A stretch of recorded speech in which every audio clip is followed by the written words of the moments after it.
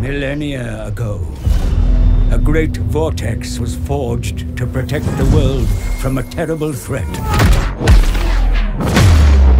Now this vortex falters, and all stands at the brink of ruin. From all sides, powerful forces gather to harness its energies for their own purposes.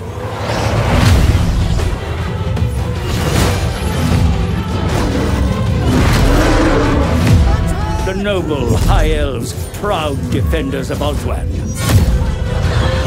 From the jungles of Lustria come the cold-blooded lizard men.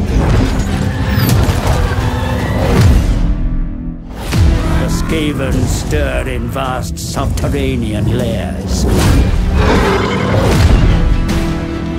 And the sadistic Dark Elf hordes spew forth from Nagaroth.